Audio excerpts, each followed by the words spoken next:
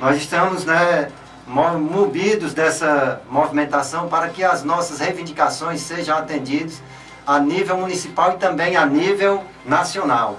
Né? Dentro das reivindicações municipais, nós temos aqui restauração do PCC, progressão horizontal retroativa, implantação integral de um terço, aplicação do horário de estudo em local de livre escolha, publicação da efetivação e garantia da mesma para os demais professores.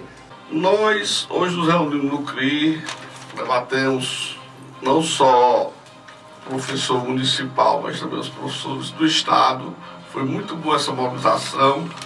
Amanhã, a partir das 14 horas, nós vamos estar em frente à Praça da Caixa Econômica e de lá nós sairemos até a Câmara, onde haverá sessão amanhã, para nós reivindicar né, aos vereadores algumas angústias da categoria.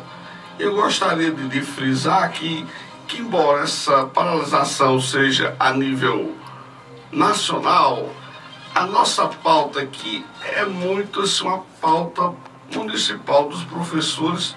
A reivindicação a nível local. Do município de Iguatu. Porque nós já temos tido muitas percas, né?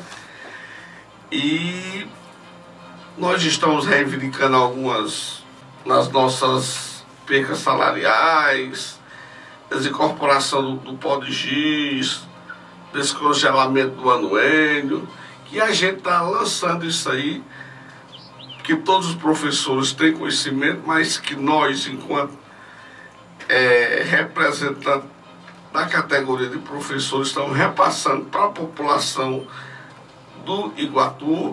Né, e quando você fala no medo, infelizmente, né, outros municípios, como eu tive contato de professor de Acopiara, não tem nenhuma notícia dessa mobilização.